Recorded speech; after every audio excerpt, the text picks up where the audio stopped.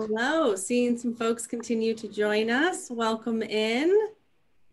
Hello, everybody.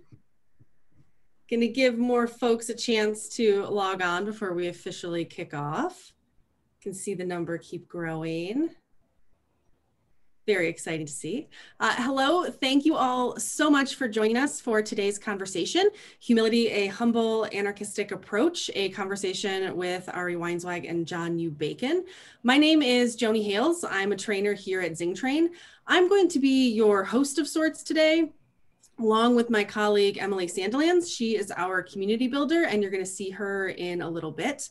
We are coming to you live from all over Ann Arbor, Michigan, but we would love to hear where you're tuning in from. If you would open up the chat and feel free to drop, drop your location in there, we'd love to see where everyone's at today. To give you some very basic logistical details as we begin, we're going to plan to hear from Ari and John for about 40, 45 minutes, and then leave some time at the end for Q&A. Feel free to submit any questions you might have throughout today's webinar by clicking the Q&A button at the bottom of your Zoom screen. We'll do our very best to get to as many questions as we can today, but should we not answer your question, we'll be sure to get back to you with answers in the days to come. We are going to be recording this conversation and we're going to be sending out the recording in the next day or two, so be sure to look out for that in your in inbox sometime soon. Uh, kind of talking about this topic of humility, I think it feels particularly timely to talk about humility in our country. Uh, in a New York Times article last week, there was a senator from Missouri who was quoted saying, The absence of humility can poison any chance for a collaborative approach. I had to read that over a few times to really let it sink in, but the absence of humility can poison any chance for a collaborative approach. And when I think of that, I think isn't that what we all want? We all want a collaborative approach to to everything. I think uh, we want a collaborative culture. We want a place where collaboration brings the best outcomes. I really believe collaboration does bring the best outcome. So I'm really excited to introduce two folks who I think are particularly primed to talk about humility. John U. Bacon, a teacher and a New York Times bestselling author of 11 books on sports, health, business, and history his upcoming book, Let Them Lead Unexpected Lessons from America's Worst high school hockey team is going to be released in September of next year. Uh, and of course, we have Ari, one of the co-founders of Zingerman's. Uh, he just released his latest pamphlet, all on humility. It's why you are all here. I think Ari's insights and lessons on why having humility matters, how it impacts our lives and our work, and how we live it in our daily work at Zingerman's, it certainly speaks to me. And I'm really excited to hear John and Ari's conversation and to get to share in this experience with all of you. With all of that said, I'm going to happily turn things over to John and Ari. All right. Good morning, Ari. Good morning, Joni. Thank you for that. Uh, Ari speaks to us on the top of Mount Everest this morning, as you can yeah. see. So how's the was, sun uh, there? It's awesome, man. It was. Uh, it took a little while to get up here, but uh, as it will. Thanks, thanks to your coaching. we Let's made dive it. right and, in. And and the coffee's very good up here. Hey, I did not know that about Mount Everest. So well, high high altitude coffee always you know better.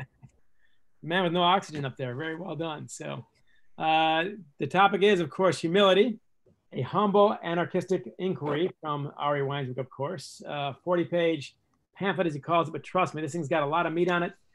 Ari, my plan, I admit, was to buzz through this thing real simply.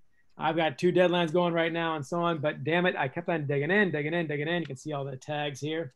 Uh, amazingly good stuff from a wide variety of perspectives, from Navy ROTC, of course, to Navy SEALs, to uh, psychologists from Germany.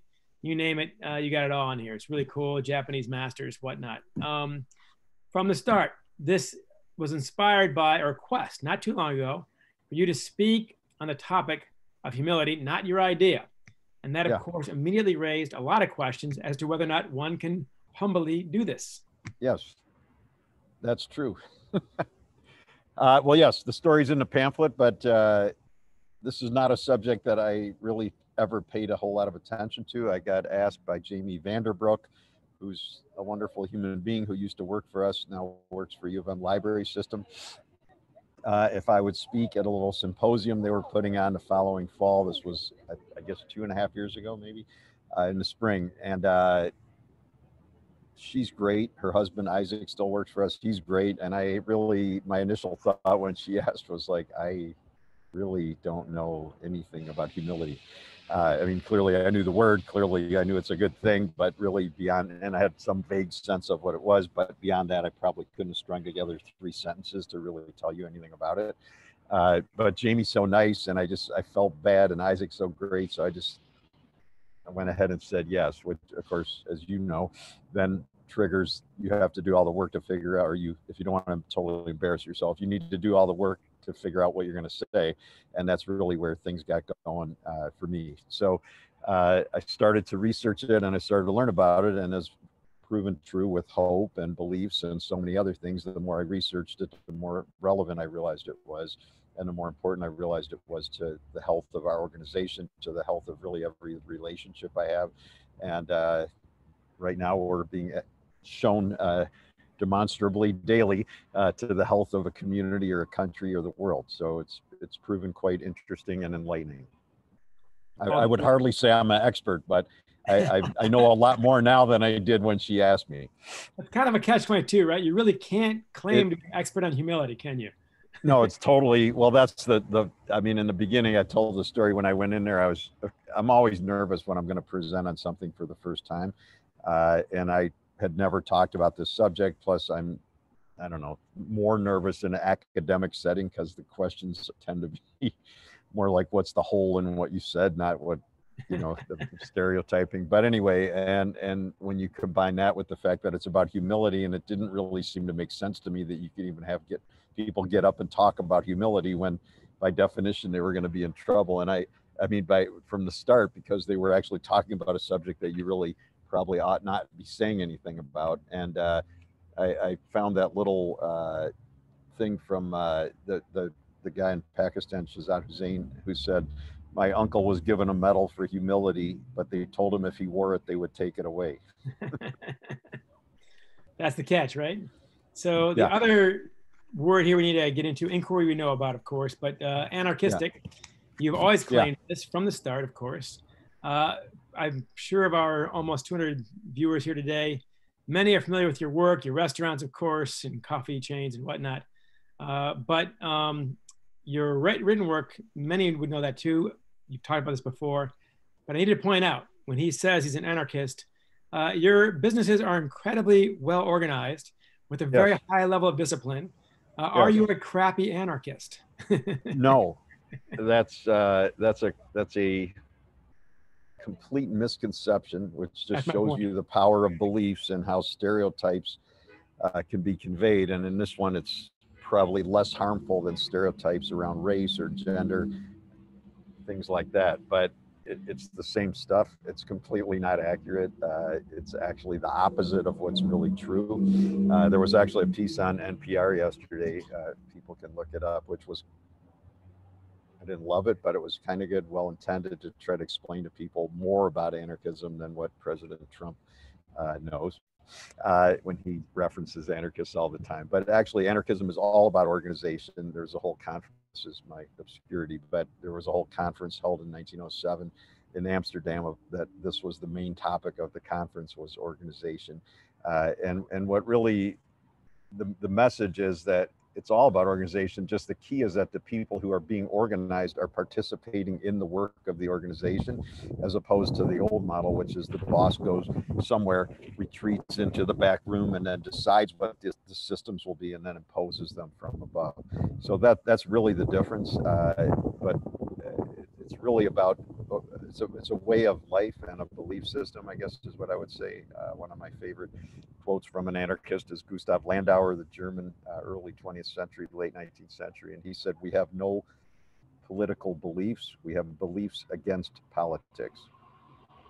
And, and that really helped me understand it's a belief system and a way of life, which is really just starts with how I treat you, how I treat myself, and how we manifest our daily existence in the world. Having defined our terms, both humility as well as anarchy. So we're up to speed now. when you dived into this, of course, uh, you found a lot of great writers right away. Uh, mm-hmm. One, the central one seems to be Dr. Edgar Schein, yeah. who appears throughout this book, of course, including the end. But give us a bit of background on him. He's a colleague of Peter Drucker's, well known to almost any business reader. Yep. Um, big name, Schein less so, I would say. Uh, Yeah. but Might be, might be the more interesting one. So tell us a bit about him and what you learned from him. Yeah, so he, I've actually never met him in person. We've emailed a few times over the years, and I tell the story here of emailing him while I was working on this. But I, I came to know him. Uh, well, he was born in, for context, in 1928, uh, but I really didn't know a whole lot about his life. I came to know his work in the mid 90s.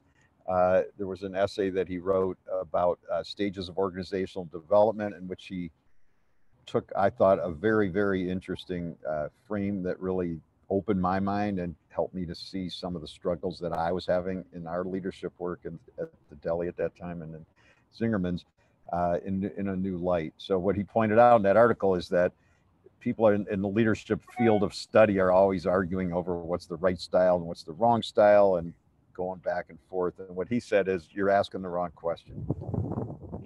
So the right question is not what's the right style, it's what's the right style for the stage of development at which the organization is at, because he pointed out, which totally made sense, as the organization develops, you need different stages of organization of, of leadership, different styles of leadership. I mean, in order to be well suited to it. So, John, your son is how old?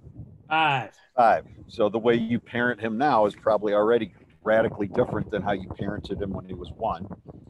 Equally ineffective, too, by the way. Well, that yeah, and how you parent him at 15 is going to be radically different again. At 25, radically different again. And so it's not that one of those styles of parenting is right or wrong. It's just that you need to match the style to the age and stage at which the child, or in our case, the organization is at. So that's really where I got to know him, and he really uh, is generally recognized as sort of one of the first, or if not the first person to really write in depth about organizational culture which in hindsight requires a good bit of humility because when you go in as an effective anthropologist, you're you're going in to learn from others, not to impose your own belief system on them, but rather to understand where their theirs came from and what it is.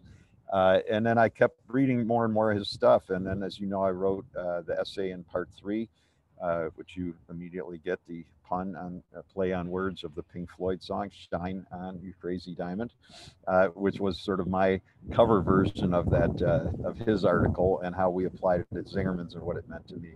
And at that time, I happened to be doing Zing Train work. We were at uh, MIT teaching Zing Train at the business school there, and the woman who was the the head of the administrative arm of the business school uh, said, "Oh, he, I know Dr. Schein," and I was like really awesome. Would you connect me? And she did. So I got his email. I sent him a draft. He gave me the thumbs up. Very nice. Uh, that was sort of the end of it. And then when I was working on this, I got out his little book, which is uh, called Humble Inquiry, because it seemed to sum up uh, this approach. I needed to do an inquiry, but I didn't really know much. Uh, and then because it was about humility, humble inquiry seemed really a, a, a perfect uh, place to, uh, to to enter the enter the research and enter my study. And then as the more I learned about him throughout this, the more it resonated. And so I ended up reading his little autobiography, Becoming American. Turned out that his family had moved from his his father was famous for his research on cosmic rays who knew? And uh, and they had moved uh, after a number of moves in in, in Europe uh, to get away from uh, the impending Nazi uh, regime. Uh, they ended up in Chicago in 1938 which ironically is where my family lived. And they his father taught at University of Chicago and I was like wow my my grandparents had a laundry in Hyde Park, man. I mean, for all I know, they were like cleaning his suits. I mean, it's not it's not really that far fetched. And it was just interesting when I read his autobiography. So much of his childhood, well, sports and everything was really sort of of my mother's generation. So it was cool. Very cool. Uh, jumping ahead a little bit based on what you just said by Dr. Schein, um, that it depends on what stage you're, where you are, of course. My kid's five. When he's 15, it'll be less effective, I'm sure. And 25, let's hope for the best, I guess. Mhm. But uh, you point out your example here, of course, is very convenient. In 1982, you and Paul Saginaw start Zingerman's with exactly two employees. And how you led that co- company, of course, is going to be very different than leading 700 people today, uh, multitude, you know, a dozen businesses, of course. Um, how has that changed with you from 1982 to the present? Probably several times, probably many ways. What's the biggest difference you think, looking back at that approach versus your approach today? Well, I mean, it's I don't even know what the biggest one is, but there. I mean, it's it's it's kind of all different, and yet it's all the same, right? I was just reading uh, some stuff from Donna Markova, who's Emma Goldman's great niece, uh, who wrote the forward for part two of the book, and uh, she's got a, a really great quote. I've been doing a lot of work on ecosystems and organizations. A lot of people know, and uh, anyway, what she she pointed out, a tree grows up and down at the same time. Very cool. Right. Yeah. We don't think about that. So, so I think if, if one looks at an organization like that, then on the one hand, the, the roots of our core beliefs, which we started with, go deeper and deeper. Commitment to the staff, commitment to quality, commitment to the community, commitment to collaborative work. I mean, those were there informally in, in 1982 when we opened. They're far deeper now, 38 and a half years later than, than when we started.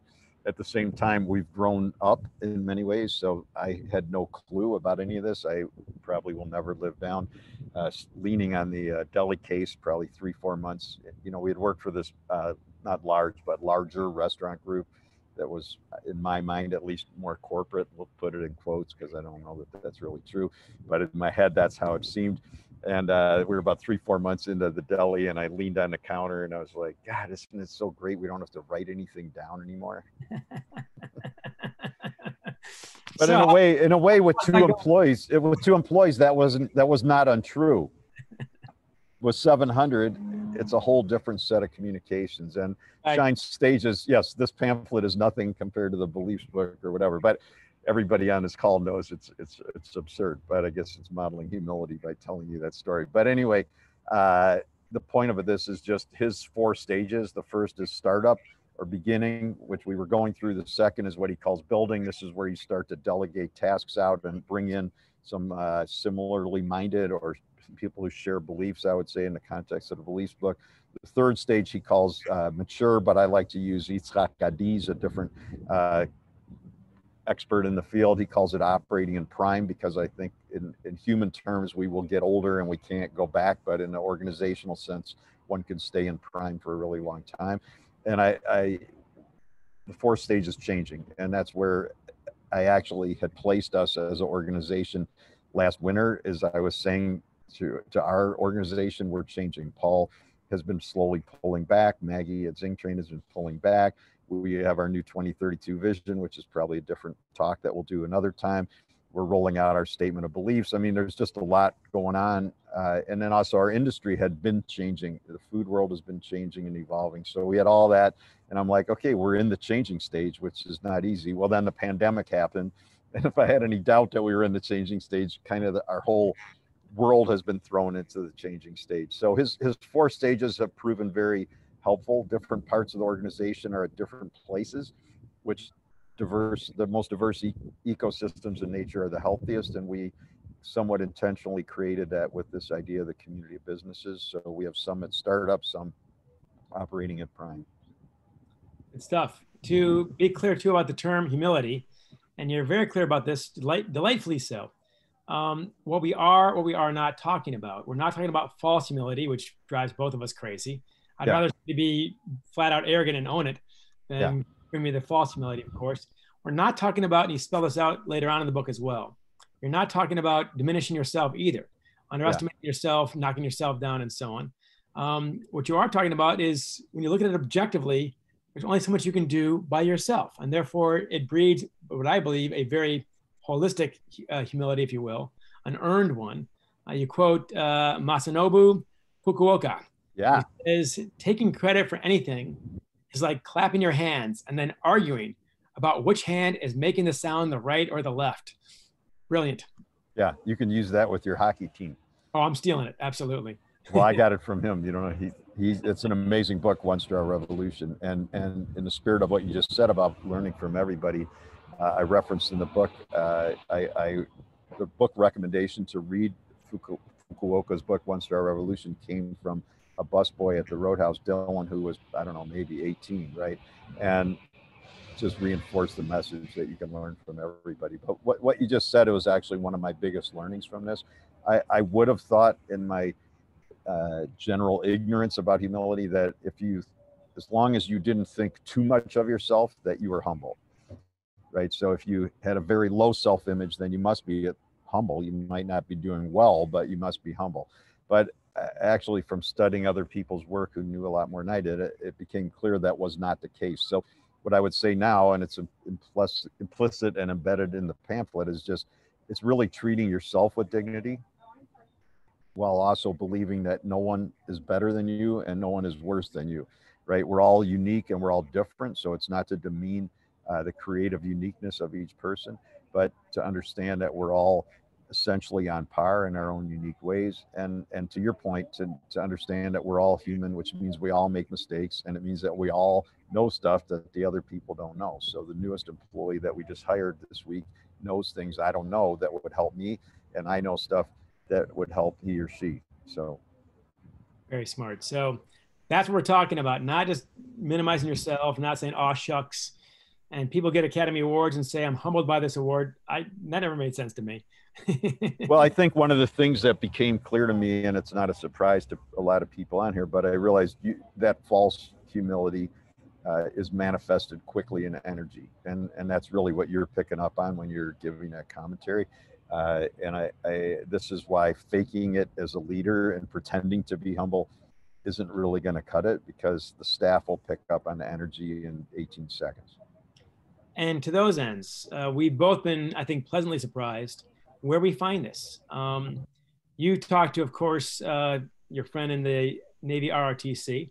Yep. Talked about humility. Yep. Um, the Navy SEAL commander, Jocko Willink, Yep. Said the ones who failed are the and the Navy SEALs we're talking about. This is as alpha as you can get, of course. Yep. Uh, the ones who failed, the Navy SEALs, are the ones who failed to listen. And when I tell people, people ask me what I learned most from Bo Schembechler, and no one can believe this. Bo Schembechler was a shockingly good listener. And that would not surprise you because you know how leadership works. Now, I don't think Bo is too interested in listening when he's running the off tackle play during practice. That was not open for debate, I don't think. They're getting things done. Uh, he was but, not an anarchist. He was not an anarchist. That, and he'd, he'd be the first to say it. But to a shocking degree, he had an open door policy. Um, Gerald Ford, by the way, the leader of the free world, had to leave a message. Jim Hackett, the backup center on his demo team, gets in there no problem, no appointment. And as Bo told me one time, it is not my job to speak to the leader of the free world. It is my job to beat Purdue. That's a focused individual. All right. Yeah. And Jim Hackett, even though he's a backup center on the demo team, had more impact on that and therefore had more importance to him as a human being. Bo is yeah. a great listener. The Navy ROTC guys, the Navy SEAL guys, they're surprisingly good listeners. And that's one thing that you have to have essential to humility is recognizing, as you said about your new employee, that person has something to teach you that you don't know. All right. So it starts with listening, correct? Yep, and I, I uh, yes, absolutely. Uh, it's interesting with Bo. I mean, you've told me some of these stories before when we've talked, and it just reinforces for me why these are essentially natural laws. Uh, a lot of people on here have read the first essay on 12 natural laws that's in part one of the book, but I have this other list I'm working on, which many of you also know, for 12 more. And uh, humility is going to be on there because it's just clearly, uh, I, I don't mean you can't get to the top without humility we know that you mm-hmm. can, but uh, to create something meaningful, lasting, generative, and positive, which is really the work that everybody on here is trying to do, not just to get to the top at all expense of anybody else around you, is is got to include humility, and it's a natural law because it comes up in the military, it comes up in Michigan football, it comes up from Masanobu Fukuoka, a farmer and a poet in Japan it comes up really everywhere. So I, I, think that's without question, that's true. Back to listening. Uh, yes, I, I grew up in a loving family that did many good things for me, but one thing they did that is causing me some challenges is that they, uh, we, we grew up cutting each other off and talking over each other. And so in my family, if no one cut you off, it meant they weren't listening. Mine too.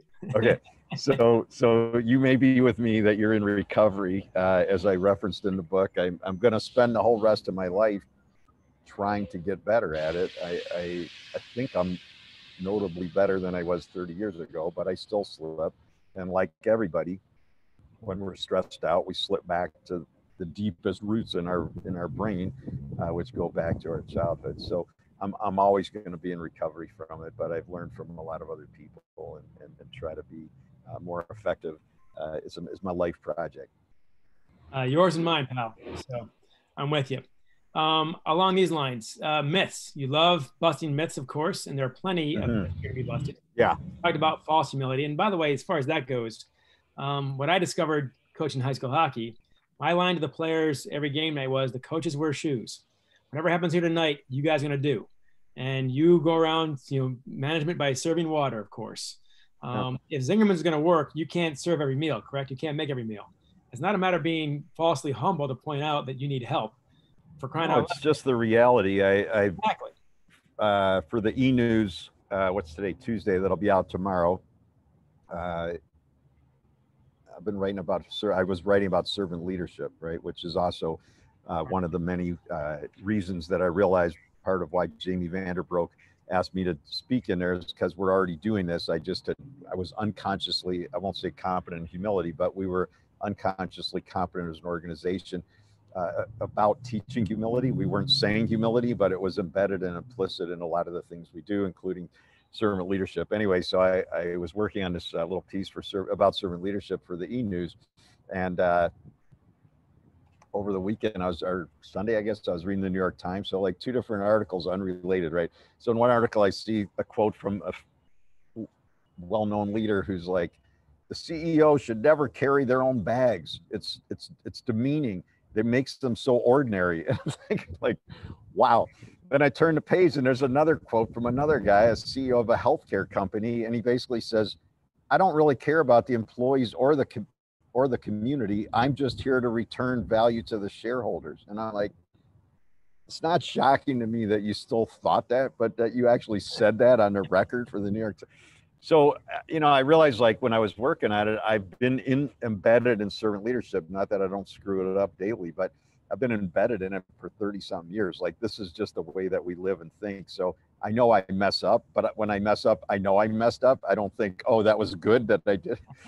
and and and it, re- it, reminded me, like, hit me upside the head when I was reading those quotes. Like, this is just not the norm, right? And so, the humility piece is not the norm, uh, and the myths that we're talking about really are commonly held beliefs out there, and I, I I believe they're contributing to the problem. Well, let's knock down three right now on page okay. 17. Uh, leaders are born, not made. Absolutely. Uh, so I, I don't buy it. Uh, this is a common uh, conception out in the world. It's just not true. I mean, I, I, I, I have found over and over again that everybody who can learn to lead, uh, it's a skill. It may come more quickly some than to others. Uh, I, I, because I'm an intuitive and not a statistician, I, am not going to give you data, but I'm sure other people can. But I, I have found over and over and over again the people who uh, others perceive to be, in quotes, natural leaders. When I start to listen and ask them more about their upbringing and their background, pretty much every time their parents were upper level leaders in an organization. They were the, the, the captain of their volleyball team at eight. They were the head of the debate team at 12 you know so it's just over and over again what i start to realize is they were learning leadership from the time they were the age of your son who's learning it right now because even if he's not participating uh, with you and christy in the conversation about your book and i guarantee you he's taking in those lessons right and so by the time he comes if he comes to work here if we're lucky when he's 16 or 17 no joke he will have 15 years of training in essence in leadership. Whereas like when i started i had never in my intuitive anarchistic sense participated in any organization.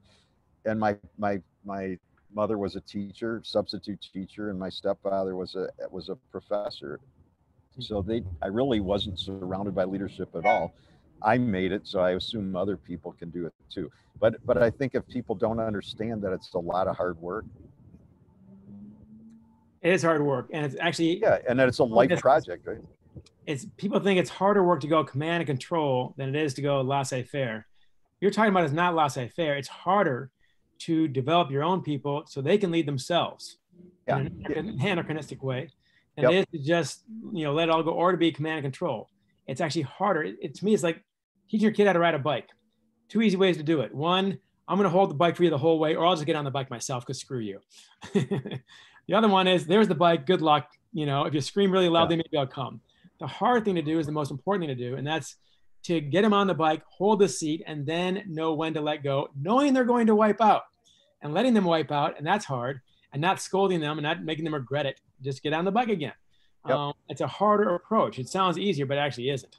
No, it's definitely not easier. I mean, it's it's it's more work, but I I, I believe that anything great is more work. I mean, so you could have handed in your manuscript for this book months ago, and it probably would have been passable. But you're pushing yourself to make it better. And that said, we also know that we're all human and we're all imperfect. So you'll find typos and problems and things that need to be corrected. And as soon as it goes to print, you'll learn seven things you wish you would have put in a book because that's what happens to me always. Yeah. But anyway, the key is leaders can learn. I, Peter Koestenbaum, amazing uh, writer, also uh, Dr. Schein's age, so like 91, 92, uh, 93. Uh, he said that the leader's primary responsibility is to develop leaders. I like.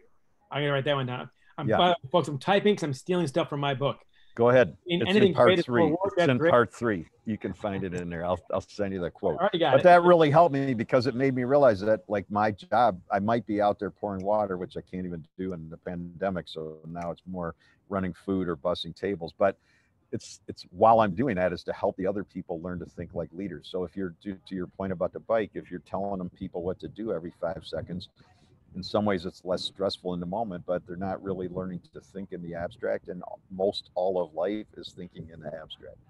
There you go. Two more myths we'll knock down. Yeah. Great leaders are never afraid, and they have all the answers. Yeah. So I, maybe some leaders out there are never afraid, but uh, as Brene Brown said about something else, she goes, "That person might exist, but I've never met them," which I thought was a very good way to say it because I, I can't, I have not surveyed all leaders in the universe to find out.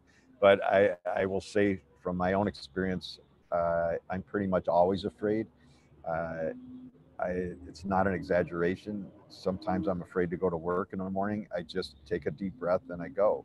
Uh, every time I sit down to write that e-news every week, I'm like, it's gonna suck this week. It's gonna be terrible. I don't think I can do it. And then I just have taught myself to keep typing and something comes out. So I, I, I believe that fear in a healthy way is normal. Uh, Peter Koestenbaum's main work is actually around helping people understand that anxiety is the state of human existence. The question is, what kind of anxiety do you have? Is it positive, the positive anxiety of writing a book like you're going through that you believe in? Or is it the anxiety of trying to conform to something that you don't believe in and to do work that you really don't want to do? So it's not to get rid of the fear, it's to understand the fear, own the fear, and learn to work through it. But when we tell people that leaders are fearless and then they feel fear, the obvious conclusion is I can't lead or there's something wrong with me. The other one, uh, the idea that best leaders have all the answers. I mean, this is probably one of the biggest issues around humility, right? So we get trained socially that we're supposed to have the answer. And that if we don't have the answer, we're flawed or we're screwing up or we're incompetent or whatever. And uh, one of the one of the big learnings for me has been over the decades now is like no it's actually and paul's really historically was way better at this than me is like to just say to people i don't know the answer. What do you think we should do? Because a it's true. That helps. b they're going to have insight that you don't have uh, and and c it helps them to learn to think like a leader. So this is our, our visioning process and our bottom line change process. Both of those a big piece of the work is to be able to send out drafts that you know aren't that good and one of the biggest mistakes that I used to make, and now I hear others in our organization make it the exact same one, is like they keep working on the draft, working on the draft. I don't, I just want to tweak it a little more. I'm like, no, try to understand. I learned this the hard way. It's actually better if it's not that good, because the the people who you send it to for input are going to give you feedback that's going to enhance it you'll get a better draft out of it and they're going to feel better and more engaged and you're complete completing both of these really important pieces of work simultaneously which is awesome. Uh, an analogy before you sell your house people want to recarpet it repaint it and so on. Don't. The buyer doesn't like your stuff anyway. There you go. good point. yeah they're going to redo it anyway. So what I say about to writing to writers, of course, let your first draft suck. This is going to anyway. All right. Yeah. Get to the end of it. Yeah. Now you got a thing Yeah. that you can make better. Um, so that's the idea there. Yeah. But uh, back to the bravery part, the afraid part. My wife is watching. I cannot recall the cartoon my son was watching, but it popped in my head as you were talking. It's a great line from Paw Patrol or one of these. So, Christy, go ahead and text me. Um, before you can be brave, you have to be scared, which kind of makes sense. If you're Yeah. whoever's committing bravery, if you're not scared first, then you're an idiot. All right. If you're, you know, climbing up Mount Everest for the heck of it with no oxygen, you're an idiot. All right. That's not being brave. That's being stupid. Um, so open up your own business. If you're not a little scared, you're probably crazy. Um, Yeah. It's scary. It has to be a little Yep. scary. And what I tell speakers before they get on the stage, I get butterflies to this day. You do too. And I tell them you have to have the butterflies. You're not going to run your fastest or swim your best without the butterflies. You have to have them. But they're your butterflies. Make sure they're flying information and you're cool. All right. You need the energy. Welcome the butterflies. Don't try to repress them because that never works. Suppressing the butterflies Yeah. only makes it worse. Yeah. So No, absolutely. And you- you you hang around with a lot of well-known athletes. I mean, I guarantee, I guarantee they're they're all nervous before a game. Are. And and and probably most of them will tell you when they had a game where they didn't play well, they weren't anxious enough actually. Great line. Dan Dierdorf, Michigan All American, NFL Hall of Famer on Monday Night Football. He was asked his senior year by the guy getting dressed next to him. He said, Man, when do you quit getting nervous before a game? And Dierdorf said, Before my last one. Love it. So embrace that, people. So, uh, key point. We're going to throw it over to questions here very shortly. We're doing pretty Yep. well here. Uh, a key point later on in the book humility is not settling mediocrity. You're not Yeah. saying we're not that great and that's cool. That's not what humility is. Yep. Elaborate on that, please.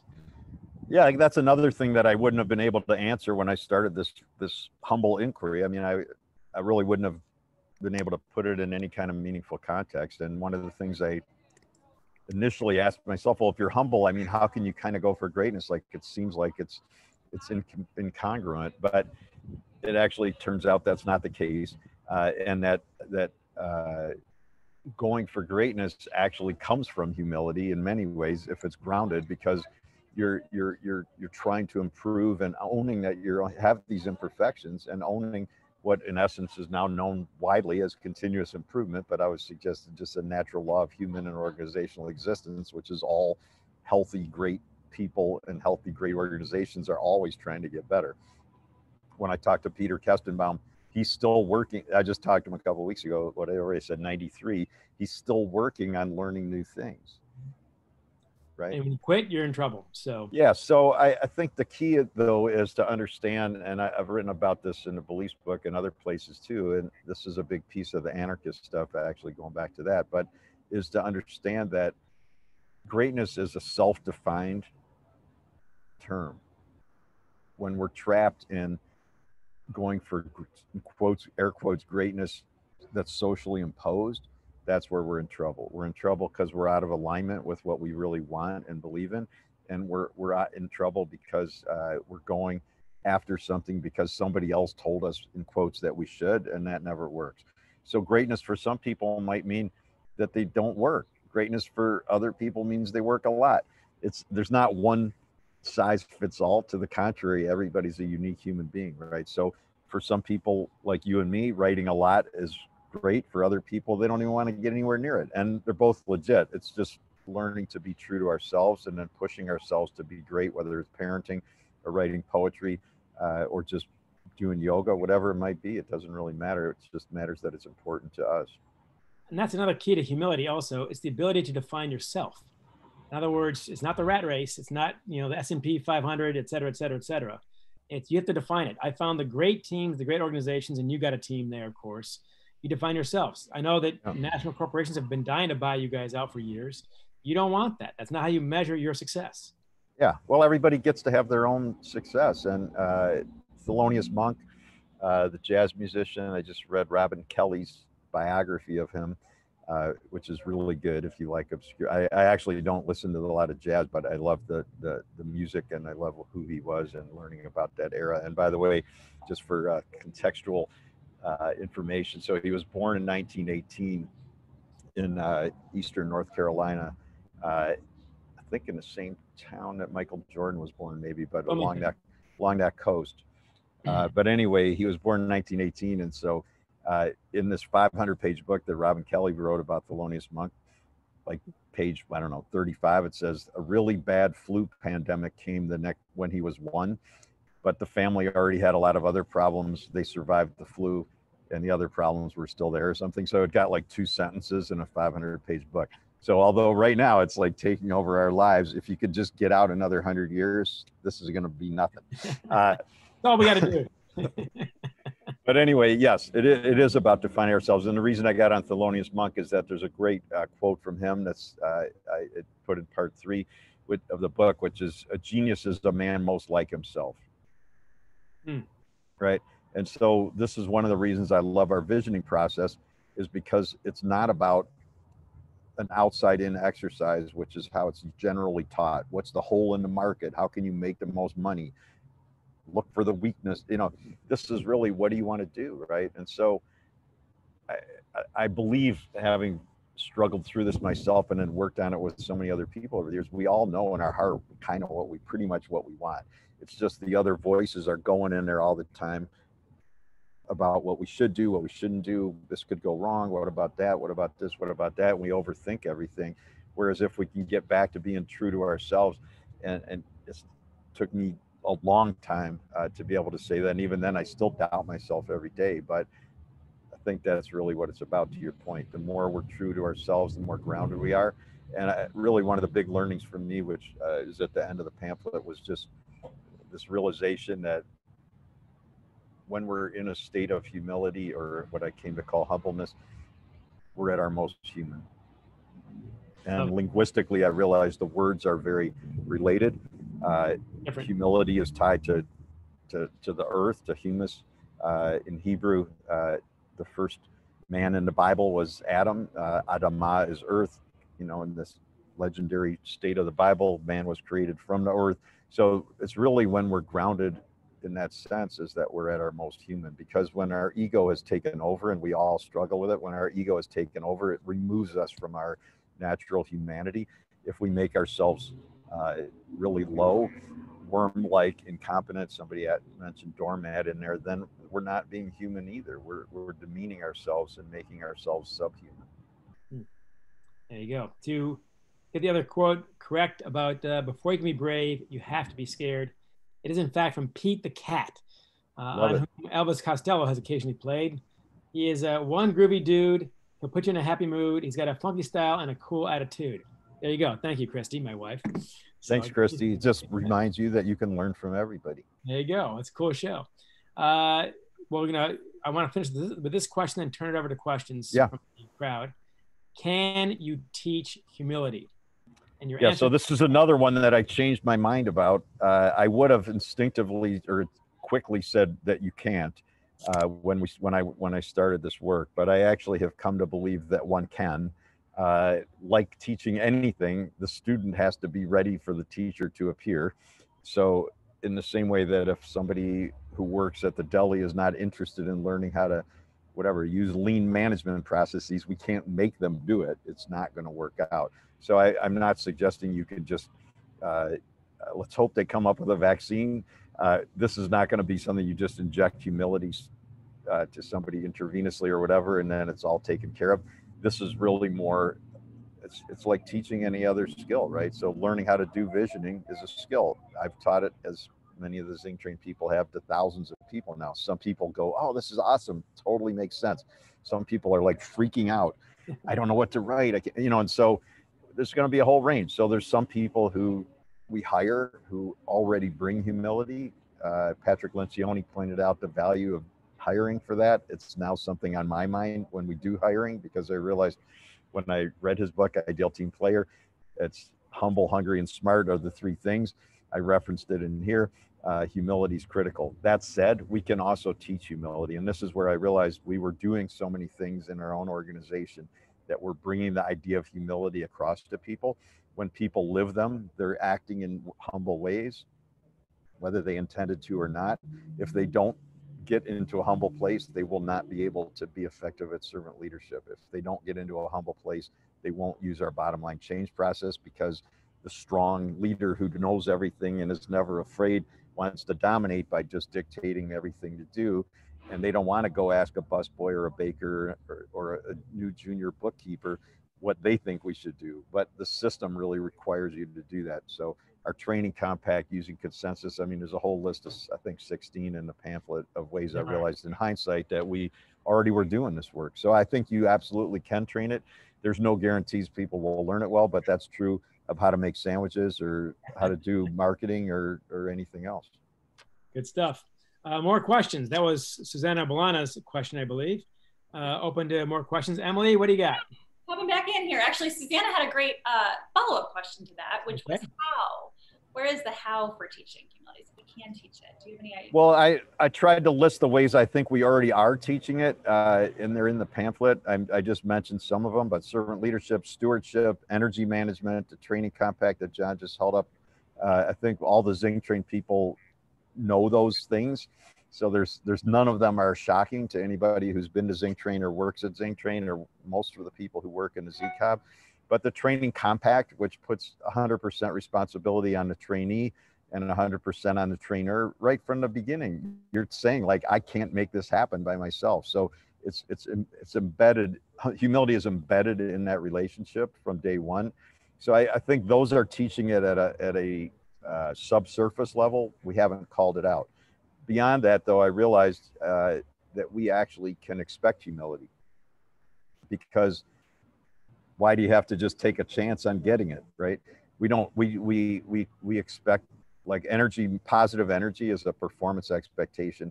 Here at zingerman's i wrote about it in part two. I learned about it from anese cavanaugh. Her books are great. Uh, it's become an well integrated into our organizational culture and our systems is that you need to bring positive energy. We have a language around what to do when it doesn't happen. That wasn't a one day project right? It took 10 years of working at it. Same with humility. So if we make humility part of the process, then I would say the same thing to to somebody we hired. Hey, at home, you could be as egotistical as you want. It's none of my business. Good stuff.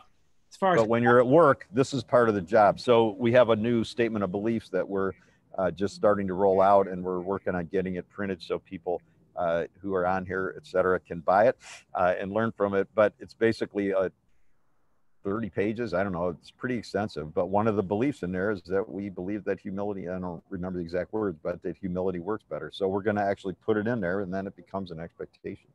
Mm-hmm. Uh, you also have a chart in here about how to hire for humility. It's on page 38. Uh, tell me about the most important accomplishments of your career. Uh, what was the most embarrassing moment of your career? I love that one, by the way. Let's, let's... Yeah, those are those are from Patrick Lencioni, to be clear. Yeah. So good stuff. And that's there are Absolutely. ways. Yeah, just I mean by asking people where did you where did you go wrong? What's a project that you led that didn't work? What would you do differently now?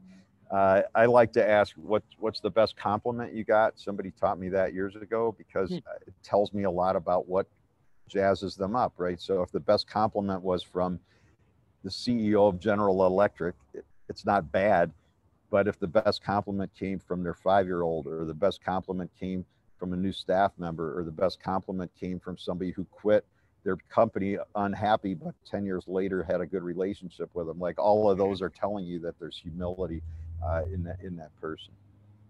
Good stuff. I see some here, Emily, but do you have some uh, favorite questions off the top? Yeah, well, you mentioned beliefs, Ari, and yes, um, I did. Um, Nicholas had a great question about how do you tie being humble into the belief cycle. Yeah. Thank you. That's a good question. I mean, all of this, I'm still learning. I'm still learning too. I'm sorry. Explain the belief cycle a little bit. Yeah. Well. Okay. So the belief cycle. So uh, I learned it from Bob and Judith Wright from their book Transform, which Emily or Mars, somebody's going to throw in the chat in under 60 seconds, probably. Uh, I know Bob Wright it's a long story. If you want to read it, it's in the end notes of part three, and then he wrote the forward for part three. But anyway, I was about whatever halfway through their book, and I stumbled on this visual of a self-fulfilling belief cycle, uh, which blew my mind because it gave me insight to understand why this whatever six, eight, ten month problem I'd been struggling with organizationally that I was getting really frustrated with, and I couldn't figure out the answer to. This cycle showed me what was going on, which is in essence the people on the project did not believe in the work and they didn't believe in each other. And it's self fulfilling. If you don't believe in the work, you'll never do good work. And if you don't believe in the colleagues with whom you're working, whether it's teammates on the hockey team or in a business, it's still not going to go well because you're going to do things that even if you don't realize you're doing it are going to make them look bad right so uh, it kind of blew my mind it was super helpful in the moment but then i just started to read more and more and like humility only even bigger i realized it was really everywhere right? So there's beliefs about beards there's beliefs about human beings there's beliefs at super small scale about like what's appropriate dress to wear to work or beliefs about anarchists that are inaccurate uh, but then there's also big beliefs like racism, beliefs that women can't lead, beliefs that young people aren't interested in working hard. I mean, all of this stuff that are sort of socially accepted nor- or norms or have been or are in many places that are very destructive. And then I realized it was going on in our whole organization. If the manager doesn't believe in the employee that reports to them, it's not going to go well. If the employee doesn't believe in the manager, it's not going to go well. Right? The player has to believe in the coach. Uh, if the if if the staff member doesn't believe the product's good, they're not going to sell it. If et cetera, et cetera. I mean, this is going on all day long. So of course, I did the only thing history majors really uh, know well, which is study. And so then I just started reading, reading, reading, reading, and I kept blowing my mind every time I read more. I learned more, and it turned into a 600-page book. So the, the cycle is in there, but in essence, it's self-fulfilling. Uh, it says that we all have a lot of beliefs about everything, whether what a good cup of coffee is, uh, et cetera, et cetera. Based on our beliefs, we take action. If you believe that good coffee is worth the money, you ha- happily go buy it. Your action starts to, to impact the beliefs of the people around you. So your friends might question their beliefs about coffee. The business that's selling you the coffee is reinforced in their belief that quality will sell, et cetera. Then they take action which is either to keep selling better coffee and feel more confident in their selling skills because you bought it, they like it, you, they feel good, and your friends start buying it too, which reinforces the cycle that good coffee is good and it reinforces our original belief. So the whole thing is basically a loop that we're almost all going in almost all the time, whether we realize it or not.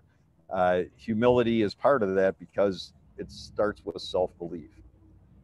Right. So some of the myths that John referenced that are in the pamphlet etc. And then I, I'm not a psychologist, but it seems fairly clear that most of these issues around humility and ego or low self-image, which is, as John pointed out, not humility, these are all coming from our childhood. I mean, and I don't need to restudy every person we hire or my own. Well, I have studied my own, but I don't need to restudy every person that we hire's childhood history really only to help them understand that their their what happened to them at two is going to have an impact on them at 22 and 42 or 56 it turns out yeah.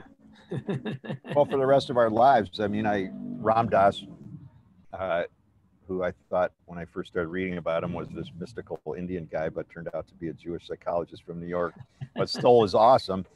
Uh, and i went to hear him speak when i was struggling with a lot of stuff he spoke at the power center i remember. And uh, I don't know, he's probably as old as I am now at the time. But anyway, he, he said, you know, I still have all the same problems I had when I was 20. He said, it's just that when I was 20, they were overwhelming, like tidal waves dominating my life. He said, now they're like gentle flies buzzing around my head, and I just sort of gently push them away, but it's the same problem. So I, I think we all will continue to have the same issues. I will, but it's just that we learn to manage them better without thrash you know, when you see your your kid, I mean, some small thing happens and he freaks out, right? You and I want to freak out. No, well, you and I still want to freak out. We just have learned how to not do it. Yeah. We also learned that it's counterproductive. It's it's not going to get you the thing that you want. Yeah. Um, at that early stage, you don't know that, of course. So no, Teddy is a bundle of impulses, and you see what that's all about. So. So yeah. So humility. To answer the question directly, really succinctly, humility i would suggest is embedded in our self beliefs from the time we're little kids and then how that manifests going forward is up to us mm-hmm.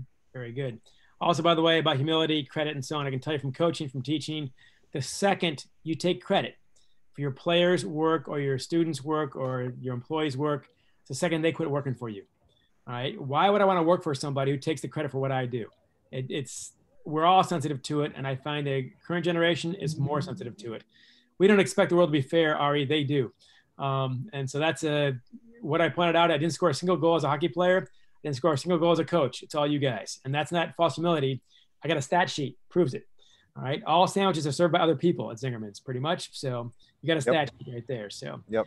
um, we have time for one or two more questions here. Emily, what do you got? Yeah, we've got a couple more um, specifically around anarchism, Okay. which I think you maybe know something about. Uh, do you have a recommendation, Ari, for um, a first stop or favorite book for someone looking to dig into the anarchistic way of thinking? Well, in humility, I'm going to just send them to what I wrote because then you're going to get my version of it. Uh, and then in the back of the books, there's a reading list with all the other stuff that I like. But uh, I would there's three uh, pamphlets if you don't want a whole book. Uh, but Secret uh, 29 is in part two. It's all about anarchisms and its application to business.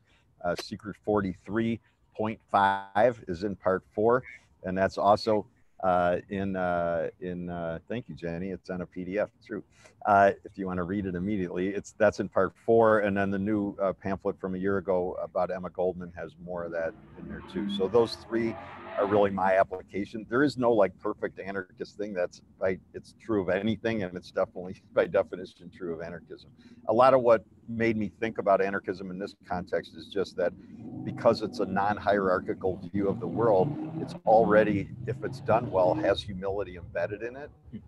right? Whereas so much thinking in the world is hierarchical that it's it's blocking out the humility whereas this comes from a place of humility. And it, I, I we don't need to get into it now but it got me reflecting on the whole issue around the statues. And the question was not should the particular ones come down? That's one question. But the bigger question for me is why do we even have people on statues in the first place? And that's actually a message that does not reinforce humility. Uh, you put a man on a statue, woman on a statue, you're asking for trouble, as the last few years have proven, by the way. So, yeah well when i wrote in the pamphlet i realized uh, in the writing work which john you'll relate but if you take the e out of statues you get status and i'm sure uh, it's related in the latin but why don't we just not have them mhm. I like it. Let's close by the little story at the end about the James Beard plaque. yeah If your customers, when your guests, Yep. it's in the second floor, of course, of the galley next door. Yep. Yep. So I actually forget that it's up there. I, I, I mean, I, I mean, awards are nice because it helps the people who work here feel better. I don't really care about them, uh, and I, I, I don't mean that it's irrelevant in the same way that, you know, when I get a nice email from somebody, it's super relevant, but it's not that big a deal. Like it doesn't make you any better if you get it, and it doesn't make you any worse. And in sports, you know, whatever they they really did win the championship. There is a competition. There's a game, etc. But when they give you an Oscar or they give you a James Beard Award, it's just a let's face it, it's just a committee of people like you and me trying to figure out the right thing to do. I mean, there's no statistical thing that compares every restaurant in the country and comes out with this, or there's no thing that compares every writer in the country and comes out with who the award winner is. So I'm not being disrespectful to the people who do that work, but anyway, it does, it's nice, but it doesn't matter. So when I got, I, I don't even know what I'm in. I'm in some James Beard thing and you know, I gave the plaque to the deli marketing people and it went upstairs in the next door, which like you'd have, I don't even remember which room it's in. You'd have to really look for it. I had forgotten it's there. And this guy had come to uh, the annual tasting that we do at the holidays this year. I guess we'll be doing them on Zoom. Anyway, at the end, he was buying some stuff and I think he bought some books and I signed some books and then he, he said, Hey, you got time for a story? Like, of course, I want to hear a good story. So uh, he goes, yeah, you know, like I, I, when I was in school here, I used to go upstairs next door and I would study and I saw this kind of weird bronzy plaque thing on the wall. And, you know, I didn't really know what it was, but I, I happened to notice it and I didn't really pay much attention to it. He goes, whatever, two, three years later, I moved to Washington, D.C. and I, I get invited to this really fancy restaurant. We come in and behind the host stand is the exact same bronze plaque. They got like spotlights on it. And, and he goes, then I looked a lot closer and I realized what it was. And he goes, that story told me everything I really needed to know about the, the two businesses. And he's he said, and I quoted him in the pamphlet. I'm not looking at it, but basically he said, "You take your work seriously, but you don't take yourself seriously." And I thought that was a really nice way to say it. Again, uh, humility is not mediocrity. It's not laissez-faire. It's not I'm not. You know, I'm not much. It's that the plaque does not matter. Um, That the work matters. The work matters. Yeah, So, absolutely. on that note, I believe Emily, we are at the noon hour. We sure are at the noon hour. Yeah, thank you, John, so much, and Ari both for joining. You. Thank you, everyone, uh, for submitting great questions. We have a ton of questions. Really. Actually, we weren't able to get to, so we'll be sure to get those fielded to Ari and to John. Um, and can get back to you with answers. Mara, I'm going to ask if Mara could drop a link to the pamphlet um, in the chat for everyone again, just to have it. And um, all all of our um, pamphlets, books, all that is currently 25% off on zingtrain.com using the code community2020. So um, we'll be sure to get that in the chat and in the follow up to you in the days to come with the recording.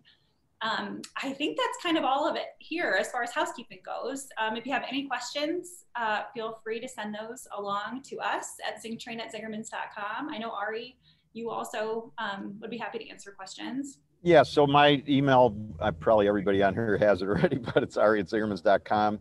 And Mara, I think you threw the e-news in there uh, link, but that way people could get uh, more info on a regular basis. So, and actually last week's e-news, uh, which is on the zingermanscommunity.com site under archive, uh, had another piece about humility too.